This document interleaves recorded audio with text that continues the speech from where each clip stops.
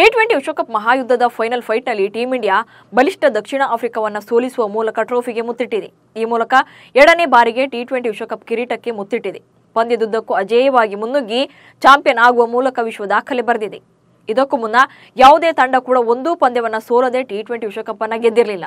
ಇದೇ ಮೊದಲ ಬಾರಿಗೆ ಭಾರತ ತಂಡ ಈ ಸಾಧನೆ ಮಾಡಿದ್ದು ಕ್ರಿಕೆಟ್ ಲೋಕದ ದಿಗ್ಗಜರೆಲ್ಲ ಅಭಿನಂದನೆ ಸಲ್ಲಿಸಿದ್ದಾರೆ. ಇದೀಗ ICC tournament of the team ಪ್ರಕಟ ಮಾಡಿದ್ದು, ಇದರಲ್ಲಿ ಭಾರತದ ಆರು ಆಟಗಾರರಿಗೆ ಚಾನ್ಸ್ ಸಿಕ್ಕಿದೆ. ಐಸಿಸಿಯು ಪ್ರತಿ ಟೂರ್ನಿಯ ಮುಕ್ತಾಯದ ಬೆನ್ನಲ್ಲೇ ಅತ್ಯುತ್ತಮ ಪ್ರದರ್ಶನ ನೀಡಿದ ಆಟಗಾರರನ್ನು ಒಳಗೊಂಡ ಹನ್ನೆರಡು ಸದಸ್ಯರ ತಂಡವನ್ನು ಪ್ರಕಟ ಮಾಡುತ್ತೆ. ಹಾಗಂತ ಇವರು ಯಾವುದೇ ಮ್ಯಾಚ್ ಆಡೋದಿಲ್ಲ. ಬದಲಾಗಿ ಟೂರ್ನಿಯುದ್ದಕ್ಕೂ ಕೂಡ ಉತ್ತಮ ಪ್ರದರ್ಶನ ನೀಡಿದ ಆಟಗಾರರಿಗೆ ಗೌರವಯುತವಾಗಿ ಈ ಆಯ್ಕೆ ಮಾಡಲಾಗುತ್ತೆ. ಅದರಲ್ಲೂ ಈ ಗೌರವಯುತ ಟೀಮ್ನಲ್ಲಿ ಬರೋಬ್ಬರಿ ಆರು ಭಾರತೀಯರು ಕಾಣಿಸಿಕೊಂಡಿರೋದೇ ವಿಶೇಷ. ಅಷ್ಟಕ್ಕೂ ಭಾರತದ ಆಟಗಾರರು ಯಾರು? ಉಳಿದ ಯಾವೆಲ್ಲ ಆಟಗಾರರ ಹೆಸರು ಸೇರಿದೆ ಅನ್ನೋದನ್ನ ಹೇಳ್ತೇನೆ ನೋಡಿ. ಐಸಿಸಿ ತಂಡದ ಆರಂಭಿಕರಾಗಿ ಟೀಂ ಇಂಡಿಯಾ ನಾಯಕ ರೋಹಿತ್ ಶರ್ಮಾ ಹಾಗೆ ಅಫ್ಘಾನಿಸ್ತಾನ್ ಓಪನರ್ ರೆಹಮಾನುಲ್ಲಾ ಗುರ್ಬಾಜ್ ಆಯ್ಕೆಯಾಗಿದ್ದಾರೆ.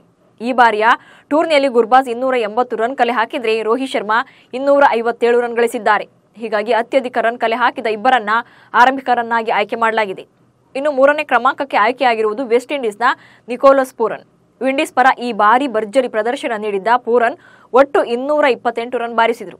ಹಾಗೆ ನೂರ ತೊಂಬತ್ತೊಂಬತ್ತು ರನ್ ಗಳಿಸಿದ ಸೂರ್ಯಕುಮಾರ್ ಯಾದವ್ ನಾಲ್ಕನೇ ಕ್ರಮಾಂಕಕ್ಕೆ ಆಯ್ಕೆಯಾಗಿದ್ದಾರೆ. ಇನ್ನು ಐದನೇ ಕ್ರಮಾಂಕದಲ್ಲಿ ಆಸ್ಟ್ರೇಲಿಯಾದ ಆಲ್ರೌಂಡರ್ ಮಾರ್ಕಸ್ ಸ್ಟೋಯ್ನಿಸ್ ಆಯ್ಕೆಯಾಗಿದ್ದಾರೆ. ಸ್ಟೋಯ್ನಿಸ್ ಈ ಬಾರಿ ಹತ್ತು ವಿಕೆಟ್ಗಳೊಂದಿಗೆ ಒಟ್ಟು ನೂರ ಅರವತ್ತೊಂಬತ್ತು ರನ್ ಬಾರಿಸಿ ಮಿಂಚಿದ್ದಾರೆ. ಹಾಗೆಯೇ ಟೀಂ ಇಂಡಿಯಾ ಪರ ನೂರ ನಲವತ್ನಾಲ್ಕು ರನ್ ಹಾಗೂ ಹನ್ನೊಂದು ವಿಕೆಟ್ಗಳೊಂದಿಗೆ ಅತ್ಯುತ್ತಮ ಪ್ರದರ್ಶನ ನೀಡಿದ ಹಾರ್ದಿಕ್ ಪಾಂಡ್ಯ ಆರನೇ ಸ್ಥಾನದಲ್ಲಿದ್ದಾರೆ. ಅದೇ ರೀತಿ ಸ್ಪಿನ್ ಆಲ್ರೌಂಡರ್ ಆಗಿ ಟೀಂ ಇಂಡಿಯಾದ ಅಕ್ಷರ್ ಪಟೇಲ್ಗೆ ಕಾಣಿಸಿಕೊಂಡಿದ್ದಾರೆ. ಇನ್ನು ಟಿ ಟ್ವೆಂಟಿ ವಿಶ್ವಕಪ್ ಎರಡ್ ಸಾವಿರದ ಇಪ್ಪತ್ನಾಲ್ಕರಲ್ಲಿ ಹದಿನಾಲ್ಕು ವಿಕೆಟ್ ಕಿತ್ತು ಮಿಂಚಿರುವ ರಶೀದ್ ಖಾನ್ ಸ್ಪಿನ್ನರ್ ಆಗಿ ಆಯ್ಕೆಯಾಗಿದ್ದರೆ ಹದಿನೈದು ವಿಕೆಟ್ ಕಬಳಿಸಿರುವ ಜಸ್ಪ್ರೀತ್ ಬೂಮ್ರಾ ಪ್ರಮುಖ ವೇಗಿಯಾಗಿ ತಂಡದಲ್ಲಿದ್ದಾರೆ. ಹಾಗೆಯೇ ತಲಾ ಹದಿನೇಳು ವಿಕೆಟ್ ಉರುಳಿಸಿರುವ ಹರ್ಷದೀಪ್ ಸಿಂಗ್ ಮತ್ತು ಫಜಲ್ ಹಾಲ್ ಫಾರೂಕಿ ವೇಗಿಗಳಾಗಿ ಈ ತಂಡದಲ್ಲಿ ಸ್ಥಾನ ಪಡೆದಿದ್ದಾರೆ. ಅದೇ ರೀತಿ ಹನ್ನೆರಡನೇ ಆಟಗಾರನಾಗಿ ಸೌತ್ ಆಫ್ರಿಕಾ ವೇಗಿ ಆಂಡ್ರಿಚ್ ನೋಕಿಯಾ ಕಾಣಿಸಿಕೊಂಡಿದ್ದಾರೆ. ವಿಶೇಷ ಅಂದ್ರೆ ಭಾರತ ಅಫ್ಘಾನಿಸ್ತಾನ ವೆಸ್ಟ್ ಇಂಡೀಸ್ ಹಾಗೆ ಸೌತ್ ಆಫ್ರಿಕಾದ ಆಟಗಾರರು ಮಾತ್ರ ಈ ಹನ್ನೆರಡರ ಬಳಗದಲ್ಲಿ ಕಾಣಿಸಿಕೊಂಡಿದ್ದಾರೆ ಇನ್ನೊಂದು speciality. ICC tournament of the ಟೀಮ್ನಲ್ಲಿ ಭಾರತದ ಆರು ಆಟಗಾರರಿಗೆ ಸ್ಥಾನ ಸಿಕ್ಕಿದೆ ನಿಜ. ಅಚ್ಚರಿ ಅಂದ್ರೆ ಐಸಿಸಿಯ ಹನ್ನೆರಡರ ಬಳಗದಲ್ಲಿ ರನ್ ಮಿಷನ್ ವಿರಾಟ್ ಕೊಹ್ಲಿಗೆ ಸ್ಥಾನ ನೀಡಿಲ್ಲ.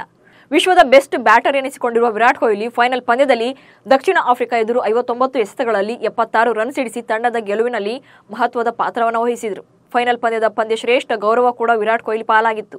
ಆದರೆ ಟೂರ್ನಿಯ ಅತ್ಯುತ್ತಮ ತಂಡದಲ್ಲಿ ಸ್ಥಾನ ಪಡೆಯಲು ಕೊಹ್ಲಿ ವಿಫಲರಾಗಿದ್ದಾರೆ. ಯಾಕಂದ್ರೆ ಯಾಕಂದ್ರೆ ಟೂರ್ನಿಯುದ್ದಕ್ಕೂ ಬ್ಯಾಟಿಂಗ್ನಲ್ಲಿ ಫೇಲ್ಯೂರ್ ಅನುಭವಿಸಿದ್ದ ಕೊಹ್ಲಿ ಫೈನಲ್ ಮ್ಯಾಚ್ನಲ್ಲಷ್ಟೇ ಅಬ್ಬರಿಸಿದರು. ಒಟ್ಟಾರೆ ಎಂಟು ಪಂದ್ಯಗಳಿಂದ ನೂರ ಐವತ್ತೊಂದು ರನ್ ಗಳಿಸಿದ್ದಾರೆ. ಹೀಗಾಗಿ ಐಸಿಸಿ ಟೂರ್ನಮೆಂಟ್ ಆಫ್ ದಿ ಟೀಮ್ನಲ್ಲಿ ಕೊಹ್ಲಿಗೆ ಚಾನ್ಸ್ ಸಿಕ್ಕಿಲ್ಲ.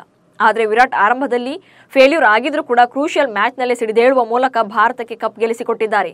ಇದೇ ಕಾರಣಕ್ಕೆ ಅವರನ್ನ ಕ್ರಿಕೆಟ್ ಕಿಂಗ್ ಅನ್ನೋದು.